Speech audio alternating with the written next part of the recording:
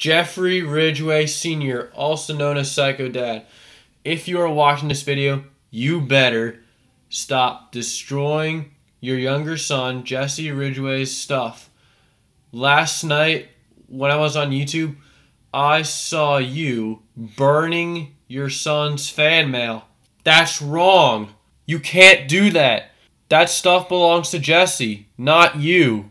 Me and the McJuggernuggets fans are ashamed of you for destroying Jesse's stuff, including his Xbox 360, which you put in the fireplace four Christmases ago and then destroyed it.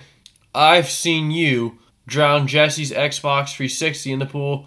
I've also seen you chainsaw Jesse's Xbox One, grilling Jesse's Wii U, threw a Super Nintendo out in the snow, destroying Jesse's car with a sledgehammer and a log, and other bad stuff. I really, really can't deal with this anymore. I will not do anything you actually do because your behavior is extremely destructive. Angry Grandpa's destructive behavior is even worse than yours because he destroys more stuff than you. I would never destroy Jesse's things if I were you. I would never burn Jesse's fan mail if I was you too. Anyways, if you're a juggy, like, comment, share, and subscribe.